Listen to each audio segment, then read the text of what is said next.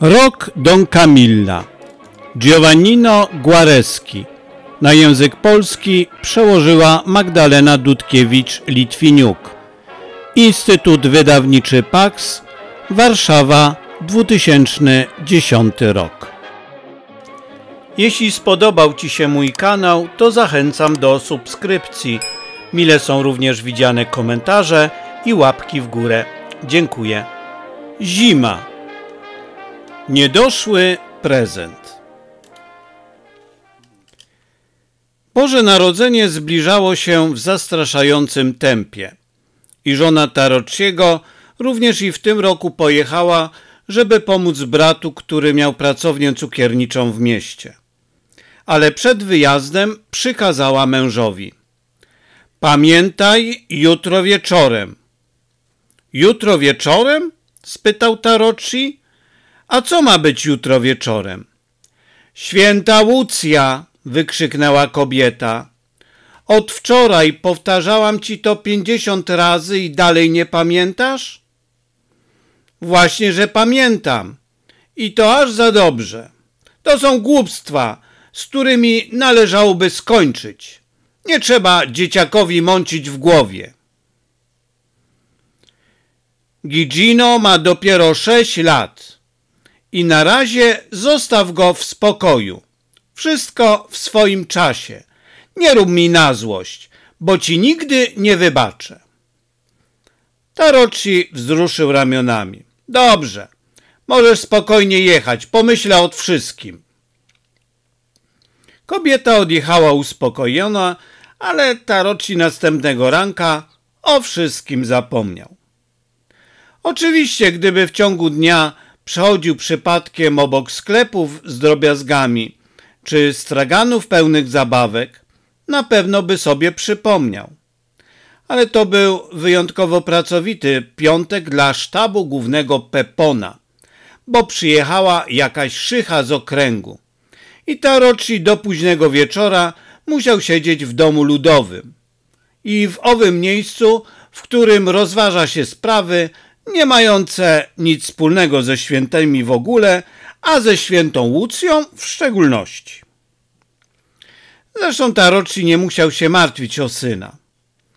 O wszystko zatroszczy się jak zwykle stara Rosa, która zajmowała się domem, kiedy Gigino zostawał sam. Po wyjściu z domu ludowego Tarocci razem z Peponem i resztą bandy poszedł do gospody przy drodze do Molinetto, żeby coś przekąsić i zabawił tam gawędząc aż do północy. Gdy dotarł wreszcie do domu, poczuł się śmiertelnie zmęczony i jak tylko wśliznął się do łóżka, natychmiast zasnął. Zbudził się nazajutrz o ósmej. Ubrał się w wielkim pośpiechu i pędem wyleciał z domu, bo to była sobota. I biada temu, kto handluje paszą i mieszankami, a nie ma go rano na placu w dzień targowy. Ledwo zdołał zobaczyć się w przelocie z Giginem, który przy pomocy starej Rosy szykował się do szkoły i krzyknął mu – bądź grzeczny! Nie zdążył zauważyć, że chłopak był jakiś inny niż zwykle. Gigino obudził się tego ranka bardzo wcześnie i już o piątej wyskoczył z łóżka, podszedł do kuchennego okna wychodzącego na warzywnik. Otworzył je, żeby zabrać buty, które poprzedniego wieczoru przed pójściem spać bardzo starannie wyczyścił i wystawił na parapet. Ale buty były puste, a torebka z okruszkami i otrębami przeznaczonymi dla osiołka świętej Łucji i troskliwie umieszczona obok butów leżała nietknięta. Znaczyło to, że święta Łucja zapomniała o Giginie. Stara Rosa na wpół zdzieciniała z powodu podeszłego wieku, już od dłuższego czasu nie przejmowała się kalendarzem więc nie rozmawiała z chłopcem o świętej Łucji. I Gigina trawiła gorycz w samotności. A kiedy przyszedł przed szkołę, zobaczył, że chłopcy są jacyś podnieceni. Jeden przez drugiego opowiadali, co im przyniosła święta Łucja. Pokazywali cukierki, miętówki czekoladki jako zapowiedź trzewików wypełnionych prezentami. Gigino trzymał się pupki mógł, ale w klasie rozkleił się i zaczął pochlipywać. Nauczycielka podeszła do nieszczęśnika i zapytała, co się stało. Gigino ograniczył się tylko do poczęśnięcia głową, co miało znaczyć, że nic się nie stało, ale ktoś głośno wyjawił tajemnicę. Płacze, bo święta Łucja nic mu nie przyniosła. Gigino uchodził za najspokojniejsze i najpilniejsze dziecko w całej szkole. To był chłopiec, który wyglądał, jakby właśnie wyskoczył prosto z elementarza. Wystarczyło, żeby nauczycielka spojrzała na niego, a Gigino nieruchomiał niczym gipsowy posążek. Wstrzymywał nawet oddech. Więc teraz, widząc jak szlocha, bo święta Łucja nic mu nie przyniosła, ona sama poczuła nieprzepartą chęć do płaczu. Nie wiedziała, co mu powiedzieć na pocieszenie, więc zostawiła go w spokoju. A kiedy lekcja się skończyła, kazała mu zostać w ławce, póki wszyscy nie wyjdą. Potem zawołała go i wręczyła pudełko czekoladek. Gino pokręcił głową. A czemuż to? spytała łagodnie nauczycielka. Chcę swoje, odpowiedział szeptem. Jeśli sześcioletniemu, a może trochę starszemu dziecku chodzi nie o czekoladki, ale o zasadę, to o czym tu jeszcze mówić? Nauczycielka, która była młodą dziewczyną, poczuła się głęboko onieśmielona i wsunęła pudełko do szuflady biurka. Kiedy Gigino wyszedł na drogę, zobaczył, że dzieci wciąż jeszcze stoją i gadają. Skręcił więc w polną drożynę i szedł powoli. Było zimno i ziemię ściskał mróz. Wlókł się jeszcze dobry kawałek, a kiedy dotarł do szosy z kukurydzą, siadł na wilgotnej słomie, żeby chwilę pomyśleć. Tarocci handlował na targu i koło w pół do drugiej wrócił do domu. Stara Rosa powiedziała, że dzieciak nie przyszedł jeszcze ze szkoły, gdy tymczasem wszystkie inne dzieci już wróciły. To nie było normalne, więc staroci złapał rower i pojechał do szkoły. Ale wszystko było już pozamykane. Zastukał, a wtedy wychyliła się woźna. Nie wiecie nic o moim Giginie? Wyszedł razem z innymi, powiedziała kobieta.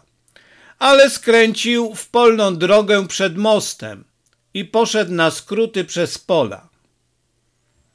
Taroci zostawił rower u woźnej i też ruszył na skróty, lecz Gigina nie znalazł. Wrócił do domu, żeby sprawdzić, czy Gigino czymczasem nie przyszedł, ale chłopca nie było. Przemierzył z powrotem tę samą drogę, wołając dzieciaka gromkim głosem, lecz nikt mu nie odpowiadał. Wreszcie, jak dobry Pan Bóg zechciał, znalazł Gigina, śpiącego na wilgotnej słomie w szopie z kukurydzą. Tarocci był wściekły. Szarpnął śpiącego dzieciaka, obudził go, klepiąc po policzkach. A ponieważ dziecko stało, trzęsąc się ze strachu i z zimna, złapał je za ucho i pociągnął za sobą. Po dwudziestu krokach Tarocci przestał maltretować Gigina i dał mu spokój aż do samego domu. Musiałem cię szukać przez dwie godziny, wyrzucał mu z goryczą, kiedy dotarli na miejsce. Dlaczego zamiast przyjść prosto do domu, szwendałeś się po polach? Czemu nie wróciłeś za wszystkimi? Wszyscy inni coś mieli, a ja nie, wyszeptał dzieciak. Co znowu? Coś od świętej Łucji, tłumaczył chłopiec. Tarociego o mało szlak nie trafił. Święta Łucja, polecenie żony. Ogarnęła go piekielna wściekłość. Jaka znowu święta Łucja? wrzasnął. To wszystko idiotyzmy. Świętej Łucji nie ma. Jest, odparł Gigino. Wszyscy inni znaleźli prezenty w butach. To nieprawda, krzyknął Tarocci. Prawda, stwierdził Gigino. Sam widziałem te rzeczy. Dla sześcioletniego dziecka nie istnieje nic, co mogłoby zburzyć ową żelazną konstrukcję logiczną. To wszystko wina tej twojej głupiej matki, skomentował przez zaciśnięte zęby Tarocci. W każdym razie ma to być pierwszy i ostatni raz, żebyś się wałęsał zamiast wracać natychmiast do domu. Dziedzino westchnął. Zawsze byłem grzeczny. Dlaczego święta Łucja nic mi nie przyniosła? Wszystkim dała prezent, tylko mnie nie. Zrobiłem coś złego? Tarocci wzruszył ramionami. Kto wie, trzeba sprawdzić, jak się zachowywałeś w szkole. Kiedy pani dowiedziała się, że święta Łucja nic mi nie przyniosła, sama chciała mi dać czekoladki. To znaczy, że byłem grzeczny. Jeśli pani chciała ci dać czekoladki, trzeba było brać, stwierdził Tarocci. Nie, ja chcę swoje, tłumaczył dzieciak, z mojego buta. Tarocci przestał jeść. Co to znowu? Z buta czy nie z buta? Czy to nie to samo? Nie, ja zawsze byłem grzeczny i święta Łucja musi mi przynieść prezent do buta. Tarocci pomyślał nad tym chwilkę i stwierdził, że wobec sześcioletniego dziecka trzeba użyć innej taktyki. Masz rację, odparł wtedy spokojnie. Rzecz w tym, że byłeś grzeczny, a mimo to święta Łucja zupełnie nic ci nie przyniosła, nawet karmelka. To znaczy, że święta Łucja musi się na ciebie gniewać, tylko na ciebie. Chłopczyk spojrzał na niego zdumiony. Na mnie? A to dlaczego? Widać, nie jesteś jej miły. A może to prawda, co wszyscy mówią, że święta Łucja nie istnieje. A dzieci, które dostały prezenty, wierzą, że to od świętej Łucji. A kto wie, od kogo one są. A zresztą nie powinieneś patrzeć na innych, tylko na siebie samego. Byłeś grzeczny? Tak. Prosiłeś świętą Łucję, żeby ci przyniosła prezent? Tak, co wieczór. I co, przyniosła ci ten prezent? Nie. Nie ma co mówić, mój kochany. Fakty są faktami. Dla ciebie święta Łucja nie istnieje. Gino nie znalazł nic, żeby zaprotestować. Było mu przykro, że święta Łucja dla niego nie istniała, ale nie wiedział, jak zaradzić tej katastrofie. Więc żeby dostać prezent, to do kogo trzeba się pomodlić? Zapytał głosem pełnym udręki. Narociemu przypomniała się historia, którą kiedyś słyszał czy ty, czytał i postanowił dać dzieciakowi lekcję. Według mnie należałoby poprosić Stalina. Stalina? spytał dzieciak. To jakiś święty? Ktoś taki, kto robi rzeczy niezwykłe, wyjaśnił Taroci. Musisz dziś wieczór pomodlić się do Stalina, żeby ci przyniósł prezent, bo byłeś grzeczny. Jeżeli Stalin przyniesie ci prezent, to znaczy, że istnieje, podczas gdy święta Łucja nic ci nie przyniosła, a więc jej nie ma. Dziecko rozchmurzyło się. Czy obok butów trzeba położyć torebkę z otrębami dla osiołka? Nie, odpowiedział bezmyślnie Tarocci. Stalin przybywa stamtąd, gdzie osły są dobrze karmione i nie trzeba ich utrzymywać z jałmużny. Kiedy spostrzegł, że palną głupstwo, było już za późno. Jednak Gigino nie zauważył, że ojciec w niezamierzony sposób zboczył z linii partii. A jak się modlić do Stalina? spytał Gigino. Trzeba uklęknąć, a potem się przeżegnać? Nie trzeba, wyjaśnił zakłopotany Tarocci. Y, wystarczy powiedzieć trzy razy y, Stalinie, byłem grzeczny, daj mi prezent. I Stalin da ci prezent. Dzieciak miał wątpliwości. Kiedy się modli do Boga albo do świętych, trzeba się przeżegnać i uklęknąć. Rób jak chcesz, zakończył Tarocci. Ważne, żebyś nikomu nic nie mówił. Położę też otręby, powiedział Gigino. Może osioł będzie głodny, chociaż jadł w domu. Tarocci zostawił dzieciaka i wyszedł w swoich sprawach. Przed wieczorem, parę minut przed zamknięciem sklepów, kupił nakręcany mały pociąg, torebkę karmelków, torebkę czekoladek i pudełko kredek. Wsadził sobie to wszystko do kieszeni, ale zamiast iść do domu, wstąpił jeszcze coś przekąsić w Molinetto. A kiedy skończył jeść, zaczął grać z Peponem i wspólnikami. I tak nadeszła północ. Wyszedł razem z Peponem. Szefie, jestem wykończony, tłumaczył mu. Ale musiałem siedzieć poza domem aż do późna, żeby mieć pewność, że dzieciak będzie spał. I po drodze opowiedział Peponowi całą historyjkę i sztuczkę ze zdemokratyzowaniem świętej Łucji. Szefie, zakończył, czy to nie świetny pomysł? Pewnie, mruknął Pepone. Należy postępować bez sentymentów, mówił dalej Tarocci. Kobiet można słuchać do pewnego momentu, a potem należy zdecydowanie wkroczyć. Zaczynamy powoli rozwijać umysły zasnute mgłą. Zaczynamy usuwać świętych z dusz naszych dzieci, wstawiając na to miejsce coś treściwego. Zaczynamy zdejmować czar z blagierstwa. Nie wydaje ci się? Pepone pokręcił surowo głową. To słuszne jako idea. Robiąc to, co postanowiłeś zrobić dziś wieczorem, niszczysz legendę świętej Łucji, ale tworzysz nową. Według mnie powinieneś wytłumaczyć dzieciakowi, że zamiast modlić się do świętych, którzy nie istnieją, wystarczy napisać do Stalina, który istnieje, a Stalin pocztą przyśle prezent. Przynieś wszystko ze sfery nadprzyrodzonej w sferę rzeczywistości. Oczywiście, odparł Tarocci, ale trzeba robić to stopniowo. Dzieciak nie umie pisać listów i nie potrafi zrezygnować z uroku bajki.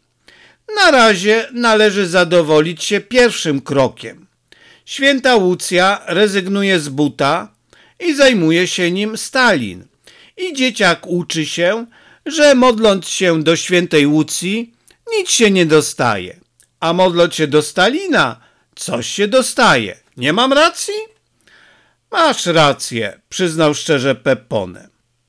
Doszli już do domu Tarociego. Stań przez chwilę na straży, powiedział cicho Tarocci. Pójdę do warzywniaka i włożę te rzeczy do buta, który stoi na parapecie w kuchni. Pepone stanął na czatach i po chwili zjawił się Tarocci. Gotowe? W porządku. Święta Łucja wykiwana. Pepone poszedł sobie, a Tarocci wszedł ostrożnie do domu. Dziecko spało w swoim pokoiku i miało słodki uśmiech na ustach. Tarocci szybko rozebrał się i wśliznął do łóżka, bo napracował się dosyć tego dnia. Ale sen nie nadchodził. Zawsze się tak dzieje, kiedy człowiek zbytnio się zmęczy, pomyślał. Potem przypomniał mu się żarcik zrobiony świętej Łucji. Z punktu widzenia propagandy był to świetny szczał.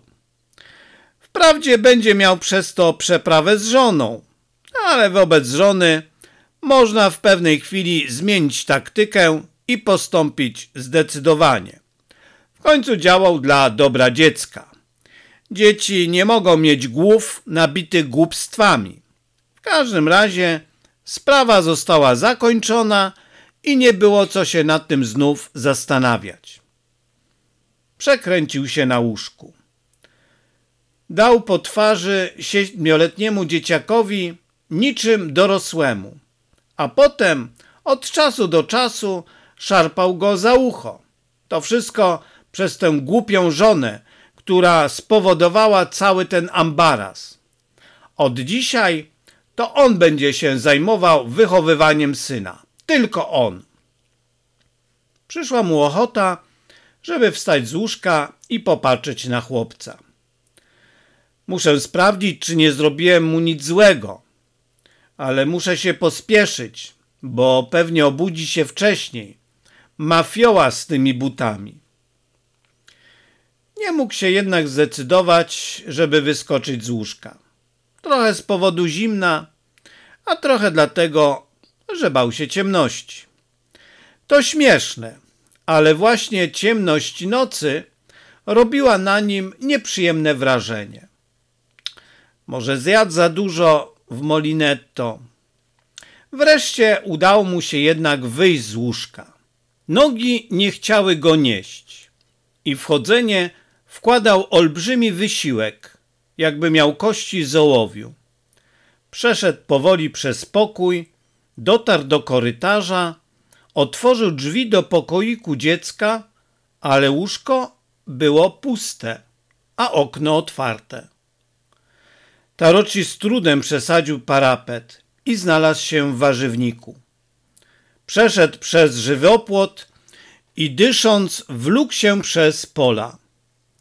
Wreszcie dotarł do szopy z kukurydzą. Gigino był tam, spał na wilgotnej słomie. I wtedy podniósł go do góry i zaczął bić po twarzy. Walił dalej nawet wtedy, gdy już go rozbolała ręka. Chciał przestać, ale nie mógł.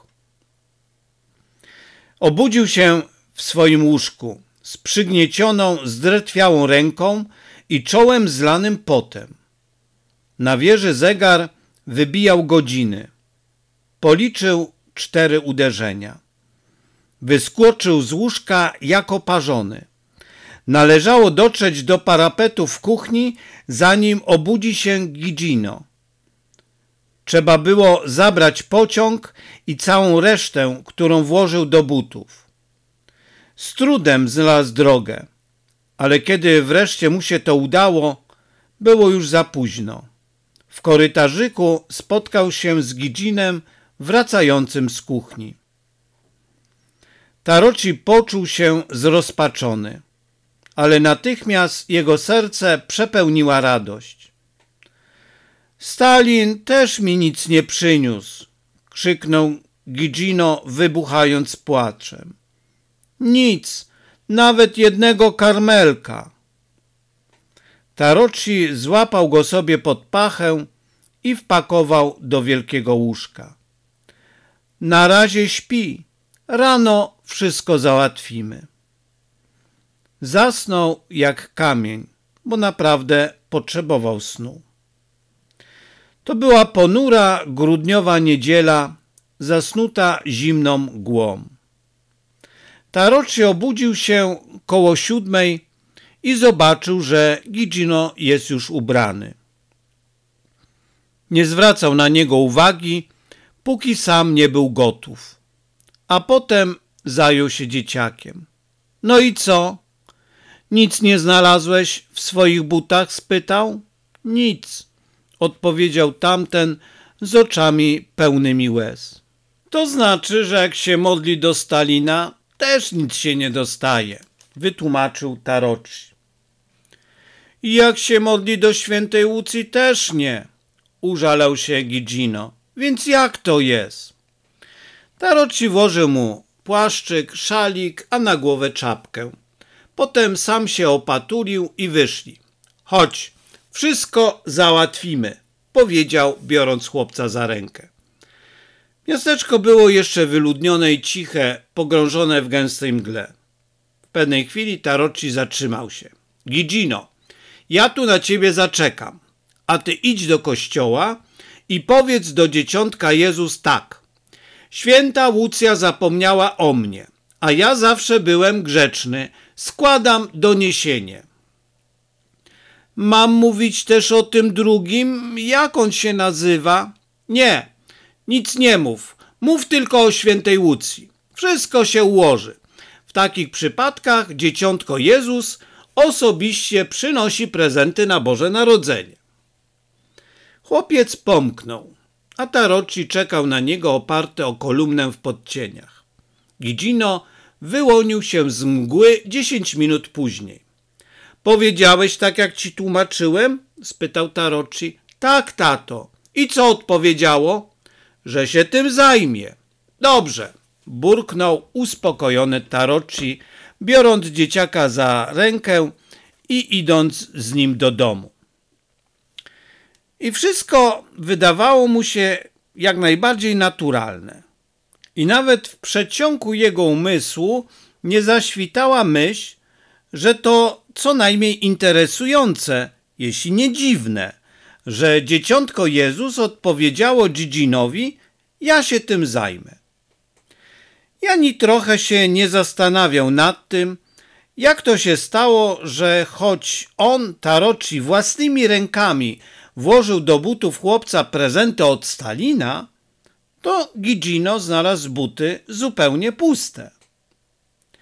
I wcale się nie zastanawiał nad tym, co się stało z kolejką i innymi rzeczami. Tarociego obchodziło jedynie to, że Gigino znalazł buty puste i że Boże Narodzenie było tuż, tuż. Dzieciątko wszystko wyprostuje. Tarocci był tego najzupełniej pewny. Prawdę mówiąc, w zniknięciu prezentów od Stalina nie kryło się nic tajemniczego. To Peppone. Po wyciągnięciu ich z butów Dzidzina wrzucił je do rzeki burcząc. Niedobrą przysługę robię towarzyszowi Stalinowi. Później, kiedy woda wielkiej rzeki pochłonęła cały ten kram, pocieszył się, mówiąc do siebie. Bóg cię widzi, a Stalin nie. Za późno spostrzegł, że wpadł w pułapkę jednego z haseł klerykalno-amerykańskiej propagandy. I pożałował tego, ale tylko do pewnego stopnia. Światło, które nie gaśnie. Pepone wcale nie był zadowolony, kiedy przeczytał w swojej gazecie list, w którym słynny deputowany tłumaczył, dlaczego czuje się zmuszony odejść z partii, nie mogąc dalej godzić własnych obowiązków katolika z obowiązkami wojującego komunisty. Peponowi nie podobał się list, a jeszcze mniej podobał mu się komunikat sekretarza partii, który towarzyszył opublikowanemu listowi. Uznał go za zbyt ogólnikowy i to go niepokoiło. Chodziło tu o niepokój nad wyraz nieokreślony, zwłaszcza, że w którymś momencie miało wyskoczyć coś aż nazbyt określonego. I wyskoczyło to na parę dni przed Bożym Narodzeniem. Rezygnacja nie została przyjęta, a słynny deputowany został wyrzucony z partii z powodu nikczemności i zdrady. To ukręca łeb całej sprawie, zauważył Długi po przeczytaniu komunikatu. Albo z nami, albo przeciwko nam. Pepone nie był do końca przekonany. Wciąż tkwimy w ogólnikach, wykrzyknął. a tutaj należało określić wytyczne co do stosunków pomiędzy Kościołem a partią. Długi pokręcił głową. Szefie, wszystko jest jasne jak słońce. Partia nigdy nie powiedziała, kto wyznaje doktrynę katolicką, nie może być jednym z nas. Ale za to Kościół mówi, kto wyznaje doktrynę marksistowską, nie może być jednym z nas i zostaje ekskomunikowany. Partia pozwala ci być katolikiem. To Kościół zabrania ci być komunistą. To Kościół błędnie postępuje. I to, że Kościół przeciwstawia się prawu, potwierdza fakt, że organa sprawiedliwości karzą tych księży, którzy mówią w Kościele, ten, kto głosuje na komunistów, podlega ekskomunice. Jeśli sprawy tak się mają, nie może być żadnych wątpliwości.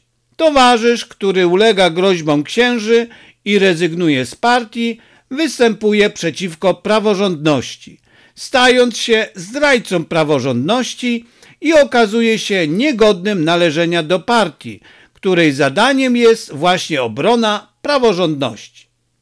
Tak więc dyrektywa, jaka wynika automatycznie z dzisiejszego komunikatu, musi być następująca.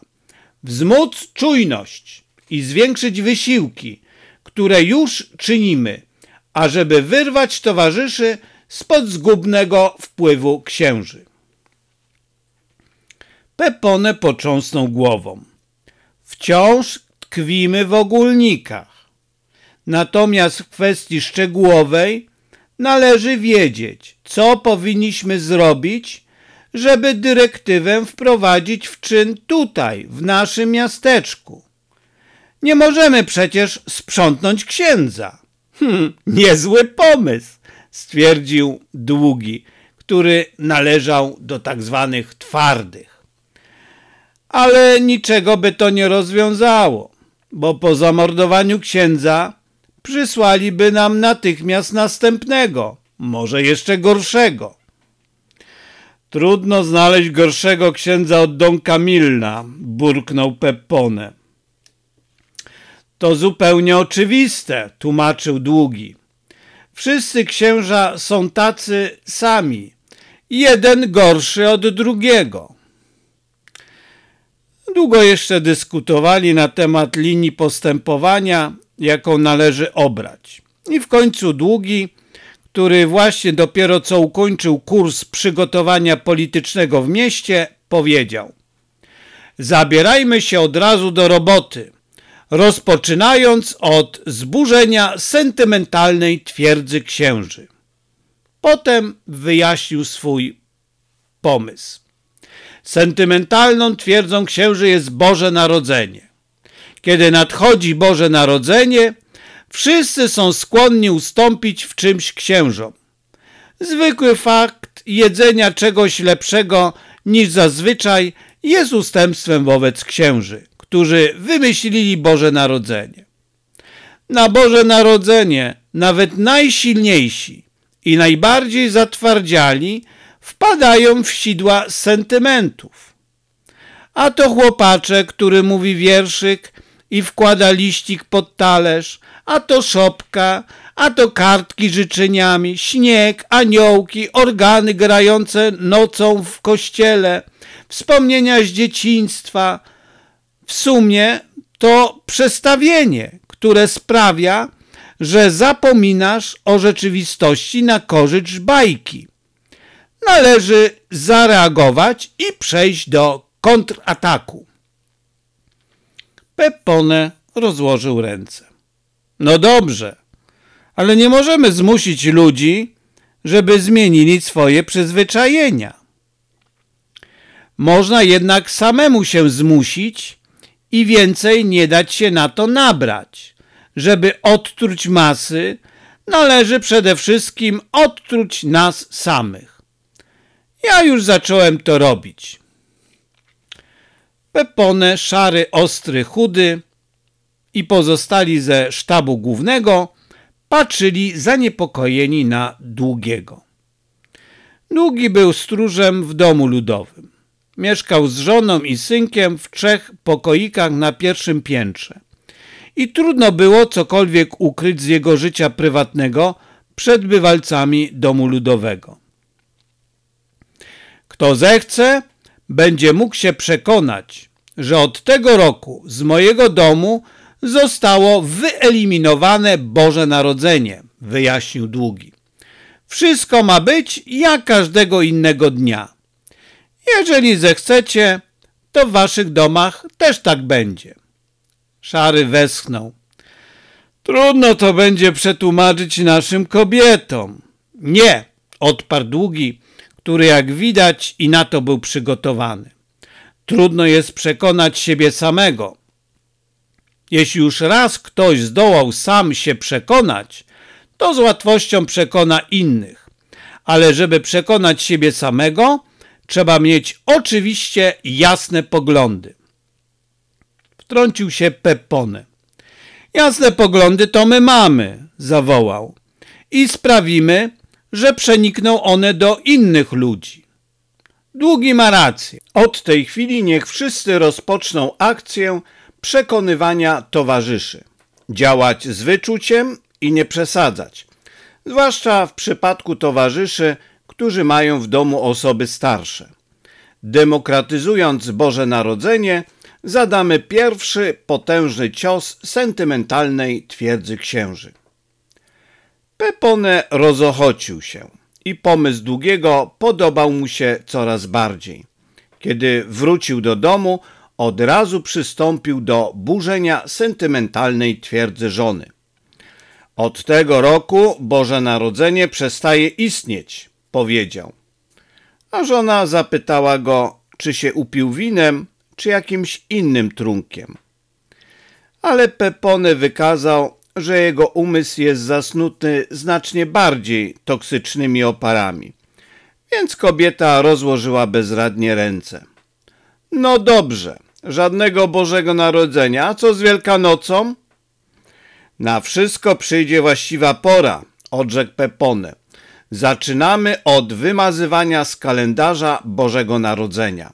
Pepony rzucił się jak nawiedzony w przedsięwzięcie od bożonarodzeniowania i odwalił kawał naprawdę dobrej roboty.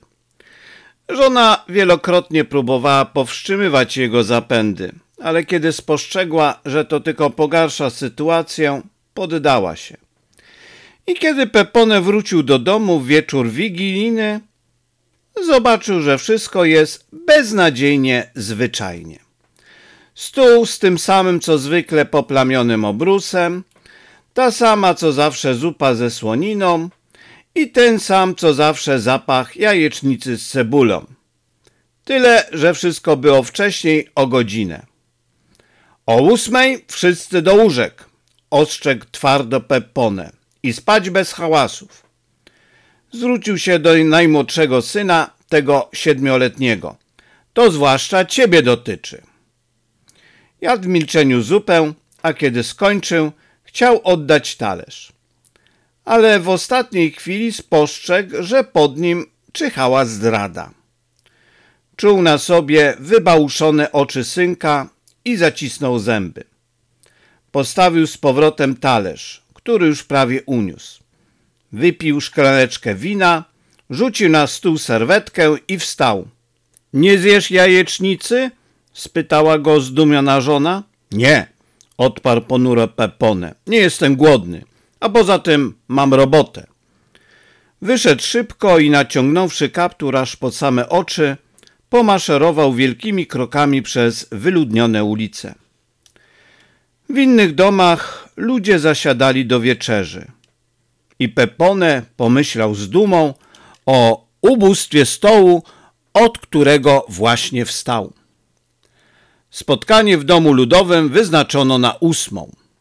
Pepone przyszedł kwadras wcześniej, a że na dole wszystko było wygaszone, poszedł na pierwsze piętro do Długiego.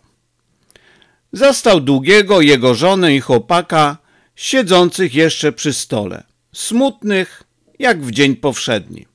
Wszystko gra? spytał Długi, nalewając Peponowi szklaneczkę wina. Rozumie się, odparł Pepone.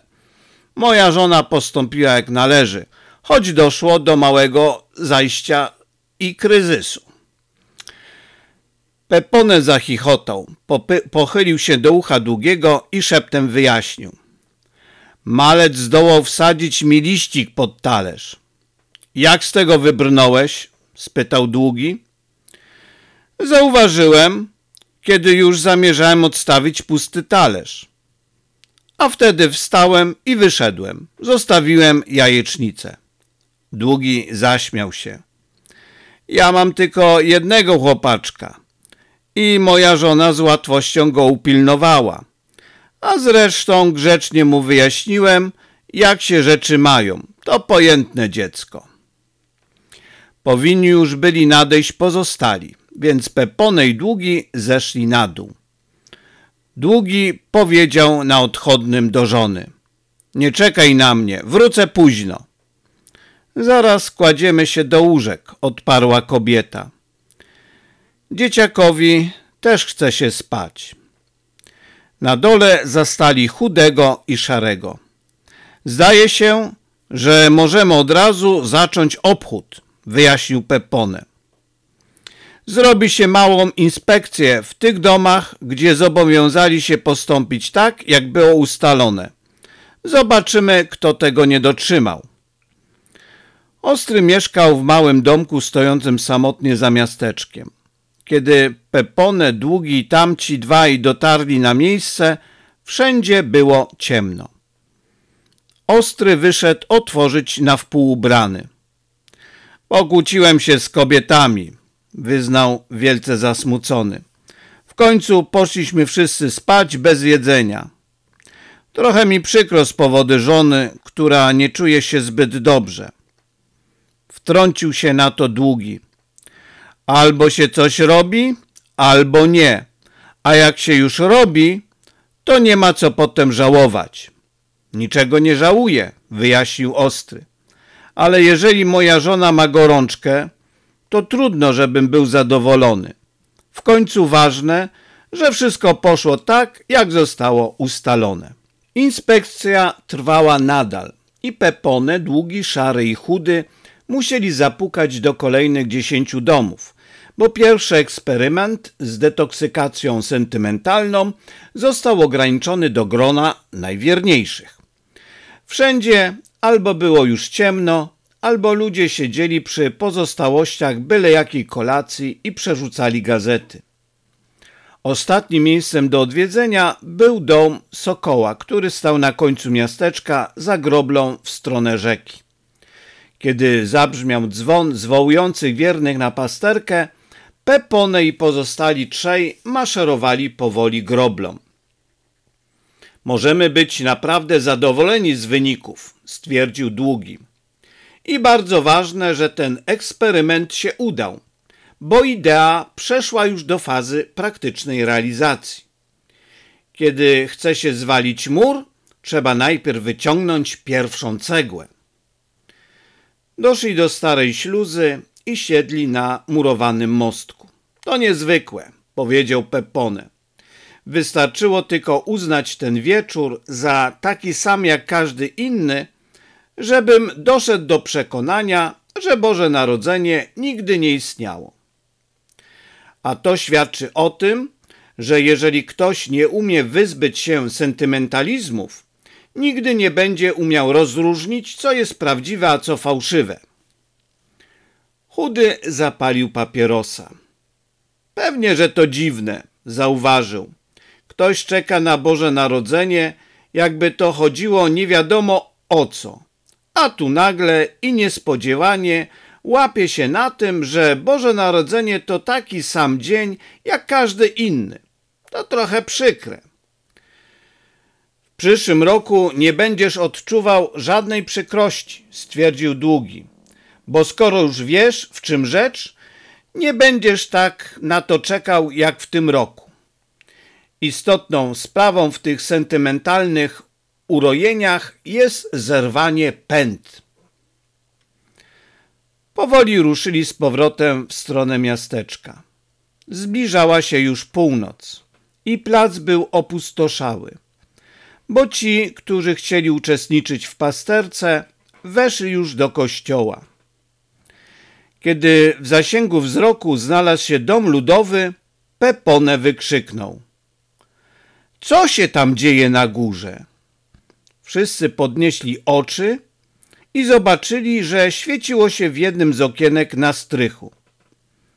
Potem światło zgasło i po chwili znów się zapaliło. I tak powtórzyło się wiele razy. Długi zaniepokoił się. Klucz od strychu schowany jest w miejscu, który tylko ja znam, a poza tym nikt z mojego domu nigdy tam nie wchodził. Zostawili szarego na straży na dole, a sami weszli na palcach na górę. Drzwi na strych były przymknięte i od czasu do czasu szparę rozświetlało błyskające światło.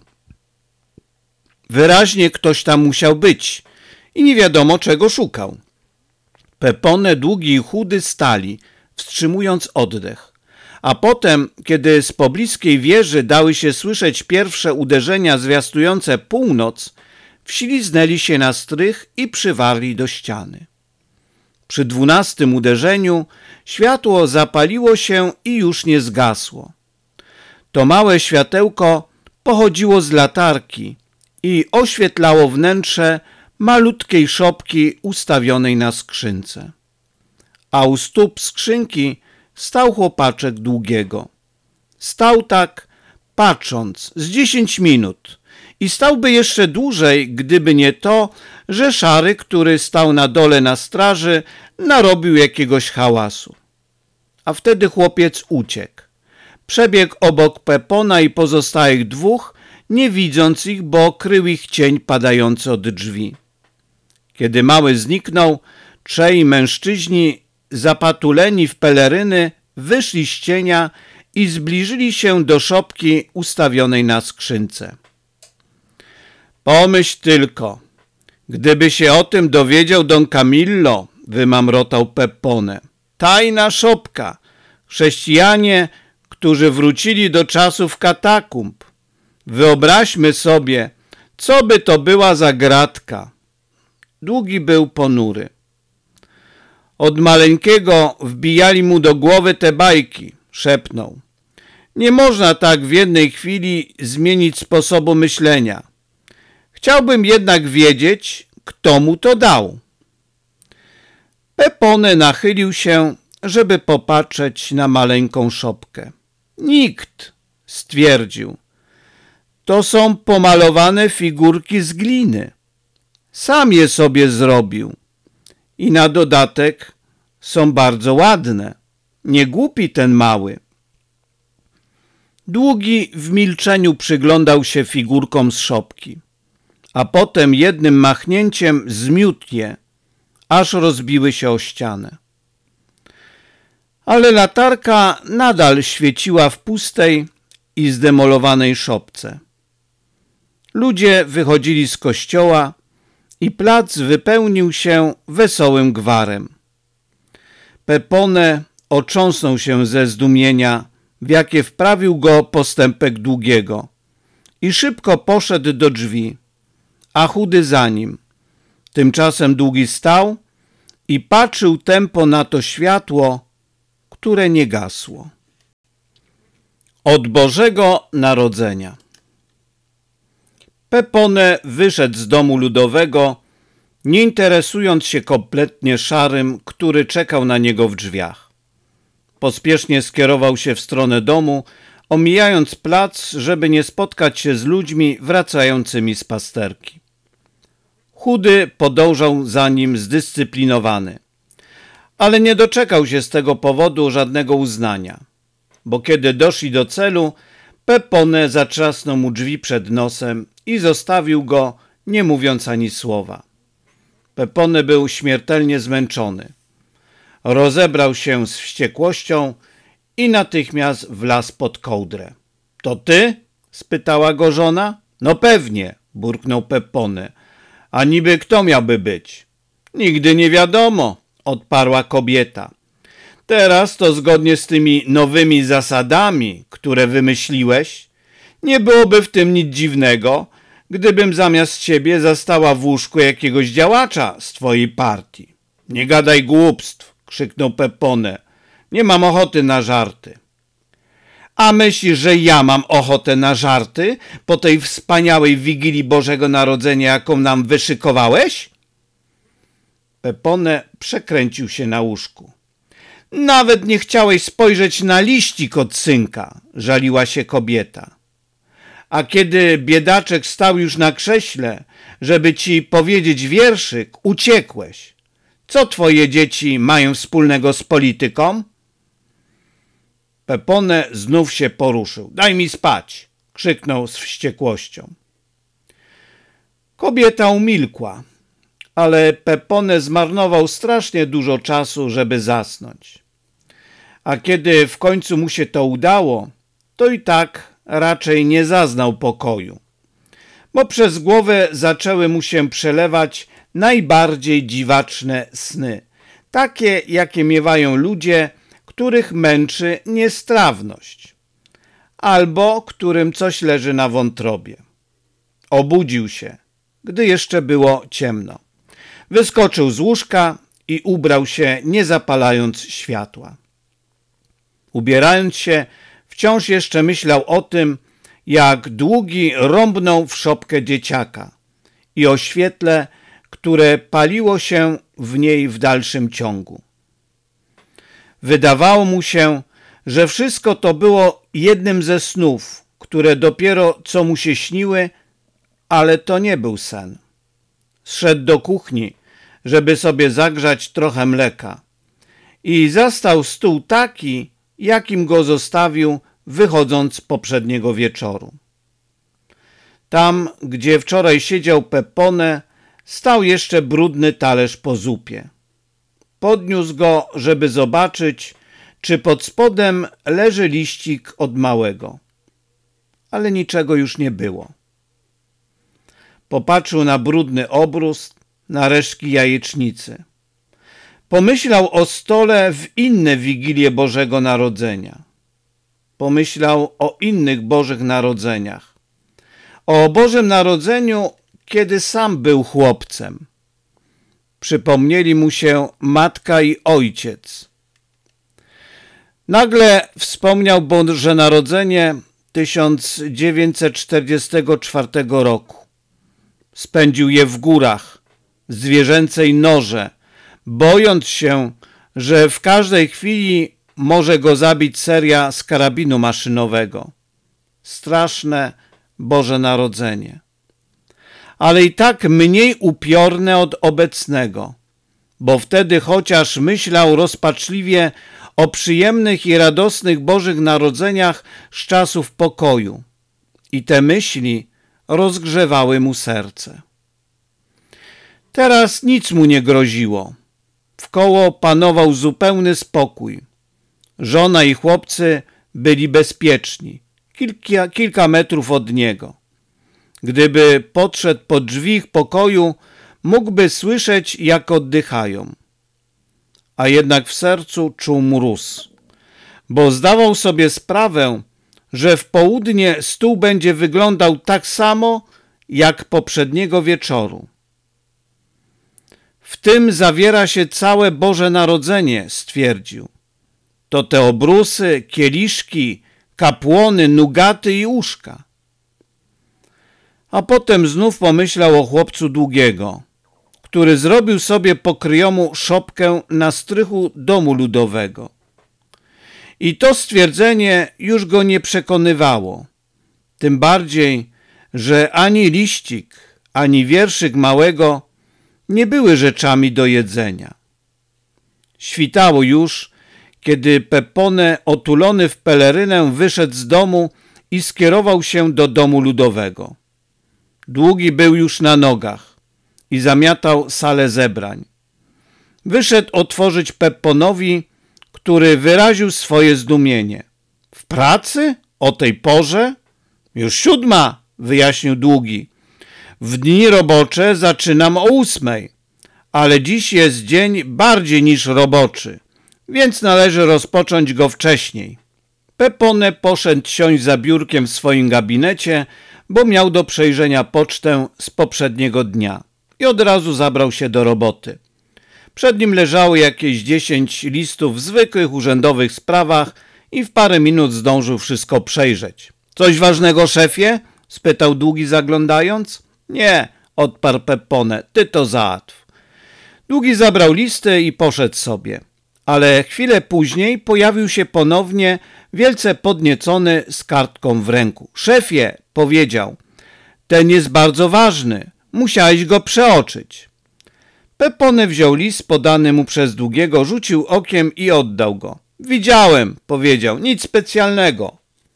Ale chodzi o wydanie legitymacji i trzeba, żebyś natychmiast odpowiedział. To twoja sprawa. Później, burknął Pepone, dzisiaj jest Boże Narodzenie. Długi spojrzał na niego w pewien szczególny sposób. I Pepponowi nie spodobało się, że tamten tak na niego patrzy. Podniósł się, stanął przed długim i wrzasnął. Dzisiaj jest Boże Narodzenie, zrozumiałeś? Długi pokręcił głową, a potem odparł. Nie, nie zrozumiałem. To od razu ci wyjaśnię. Wysączył przez zaciśnięte zęby Peppone, wymierzając mu policzek, godny zaprezentowania na wystawie krajowej. Długi źle zrobił, że nie od razu pojął o co chodzi. Ale że był to drąg jeszcze wyższy od Pepona, więc starał się oddać otrzymany cios. A wtedy Pepone zwalił się na niego niczym cała dywizja pancerna i przeprofilował mu siedzenie, wymierzając parę siarczystych kopniaków. Potem, kiedy już skończył robotę, złapał długiego za wrak i spytał Zrozumiałeś, co powiedziałem? Zrozumiałem, burknął ponuro długi. Dzisiaj jest Boże Narodzenie. A teraz idź na strych i ustaw wszystko z powrotem, zanim ktoś zobaczy. Nie pomyślałeś, że gdyby się rozniosło to, co się stało tej nocy na górze, zrobiłaby się z tego potworna afera polityczna wymierzona przeciwko nam? Już to załatwiłem, odrzekł długi. Postawiłem wszystko na swoim miejscu. Pepone, poprzedzony przez długiego, wszedł na strych, żeby to sprawdzić. I rzeczywiście malutka szopka wyglądała jak nietknięta. Pepone przyglądał się przez kilka chwil, a potem burknął. W końcu w to, co w tym złego, że komuś podoba się wierzyć, że prawie dwa tysiące lat temu w jakiejś stajence stolarzowi urodził się syn, który potem głosił równość wszystkich ludzi, bronił biedaków przed bogaczami i w końcu został ukrzyżowany przez wrogów sprawiedliwości i narodowości? Długi pokiwał głową. Nic złego, ale ludzie wierzą, że ten syn stolarza to właśnie Bóg. To odrażające. Odrażające? wykrzyknął Pepone. Raczej piękne, bo fakt, że Bóg wybrał na ojca stolarza, a nie burżuja, oznacza, że Bóg jest za demokracją. Długi westchnął. Szkoda, że wmieszali się w to księża, bo tak mogła to by być nasza sprawa. W tym sęk, potwierdził Pepone. Należy wciąż działać z wielkim spokojem i nie robić zamieszania. Bóg to jedna sprawa, a księża to druga. Niebezpieczeństwo nie pochodzi z faktu istnienia Boga, ale istnienia księży. Tak więc nie należy eliminować Boga, tylko księży. To samo dotyczy bogactwa i bogatych. Dlatego nie należy eliminować bogactwa, tylko bogaczy, a bogactwo rozdzielić między biednych. Długi, który dopiero co zakończył kurs przygotowania politycznego, pokiwał znowu głową. Tak, ale zasadnicza kwestia jest inna. Bóg nie istnieje. Wymyślili go księża. Istnieją jedynie rzeczy, które możemy zobaczyć i dotknąć. Rzeczy zbudowane z materii. Reszta to tylko fantazja. Pepone nie wydawał się zbytnio przejęty informacją długiego i odrzekł. Jeżeli ktoś się rodzi ślepy, to może nie wierzyć, że istnieje kolor czerwony albo zielony. Przecież go nie widzi. Teraz wyobraź sobie, że wszyscy zaczynają rodzić się ślepi. Za sto lat nikt nie będzie mógł uwierzyć w istnienie kolorów, bo nikt ich nie będzie mógł zobaczyć. Ale kolory tak będą istniały w ich materialnej rzeczywistości. Czyż nie jest możliwe, że Bóg istnieje naprawdę, a my jesteśmy wobec Niego jak ślepy od urodzenia, który na podstawie swojego rozumowania nie może przyjąć, że istnieją kolory? Długi był poruszony do głębi. W każdym razie, uciął krótko Pepone, problem ten nie należy do kategorii szczególnie palących i jego rozstrzygnięcie może zostać odłożone. Pepone podążył w stronę domu i nagle na zakręcie do Borghetto wpadł na Don Camilla. Czego szara eminencja sobie życzy? spytał ponuro. Chciałem złożyć życzenia wesołych świąt Bożego Narodzenia, dobrego końca i dobrego początku roku, odparł uprzejmie Don Camillo. Mnie? zachichotał Pepone es osobie ekskomunikowanej? A to dopiero konsekwencja w postępowaniu. Don Camillo rozłożył ręce. To jest ta sama konsekwencja jak w przypadku lekarza, który uznając, że jakaś osoba jest zarażona chorobą zakaźną, zabrania jej widywać się z osobami zdrowymi ale mimo to nadal ją leczy. Można nie znosić choroby, ale trzeba kochać chorego. Pepone zaczął śmiać się szyderczo. To ci dopiero. Wyrżnęlibyście nas wszystkich, a gadacie o miłości. Bylibyśmy nędznikami, głupcami i obłąkanymi lekarzami, gdybyśmy dla zniszczenia zarazy chcieli likwidować nieszczęśników, których dusze są opanowane przez chorobę. My leczymy ich z miłością, żeby wyzdrowieli, odpowiedział Don Camillo. Rozumiem. Chcielibyście zaaplikować nam kurację, o której mówiliście kiedyś na placu, odparł Peppone. Nie chodziło mi o ciebie ani o ludzi do ciebie podobnych, wyjaśnił spokojnie Don Camillo. W takim, dla przykładu, tyfusie plamistym, czynniki, które należy wziąć pod uwagę przy zwalczaniu choroby są trzy. Tyfus plamisty, czyli choroba sama w sobie. Roznosiciel tyfusu plamistego, czyli wesz. I sam nieszczęśnik zarażony tyfusem. Żeby pokonać chorobę, należy leczyć chorego i wyeliminować wesz. Głupcem byłby ten, kto chciałby leczyć wesz szaleńcem, kto zamierzałby przemienić wesz w coś, co nie byłoby już roznosicielem tyfusu. Pepone, ty nie jesteś wszą, ty jesteś chory. Ja się czuję doskonale. To wielebny jest chory, odparł Peppony. Chory na umyśle.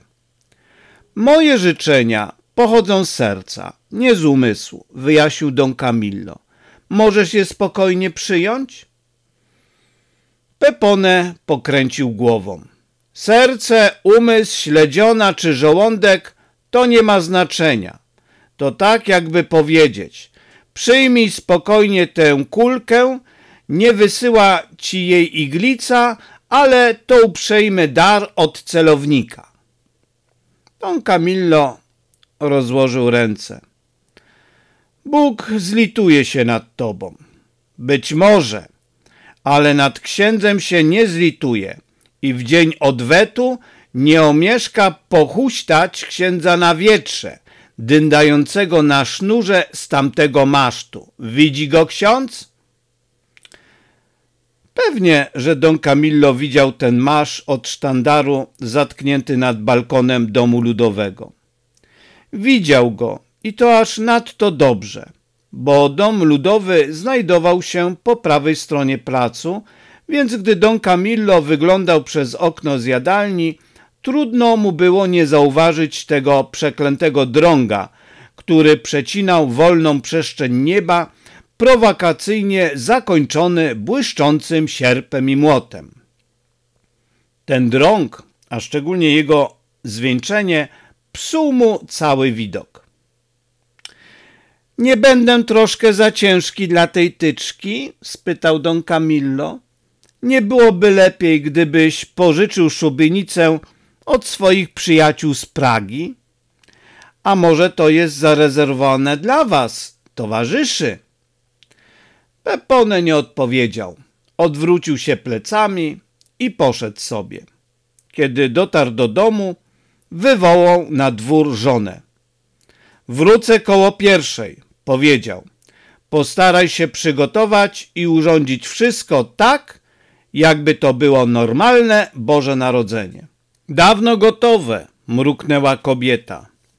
Nie myśl sobie, że czekałam na odwołanie rozkazów. Może wrócić do domu nawet w samo południe. Chodząc chwilę po dwunastej do obszernej kuchni, Pepone odnalazł nastrój Bożego Narodzenia z poprzednich lat i zdawało mu się, jakby się uwolnił od jakiegoś koszmaru. Znalazł list od małego pod talerzem. Wydał mu się wyjątkowo ciekawy. Potem nastawił się na wysłuchanie z największą uwagą wiersza. Ale wiersz wcale nie zamierzał się pojawić. Pepone pomyślał, że będzie pod koniec posiłku, więc zaczął spokojnie jeść. Ale również pod koniec jedzenia malec nie okazał najmniejszej ochoty, żeby stanąć na krześle i zadeklamować. Pepone zrobił w stronę żony pytający gest, ale ona tylko wzruszyła ramionami. Potem wstała i poszła poszeptać z malcem. Nic z tego, zakomunikowała Pepponowi. Nie chcę mówić. Peppone miał jednak coś w zanadrzu. Wyciągnął z kieszeni pudełko czekoladek i zapowiedział uroczyście. Jeżeli jest tu ktoś, kto powie mi teraz piękny wiersz, dostanie to wszystko. Przejęty malec zerknął ukradkiem na pudełeczko, a potem począsnął głową. Żona Pepona poszła poszeptać jeszcze z chłopcem, po czym zdała sprawę mężowi. Nie chcę mówić. A wtedy Pepone stracił cierpliwość. Jeżeli nie chcesz powiedzieć wiersza, to znaczy, że go nie umiesz. A właśnie, że umiem, odrzekł malec. Ale teraz już nie można go mówić. A to dlaczego? krzyknął Peppone. Bo teraz już się nie liczy, wyjaśnił chłopiec. Teraz dzieciątko już się narodziło, a wiersz mówi o dzieciątku, które ma się narodzić tej nocy. Pepone kazał żonie przynieść zeszycik z wierszami.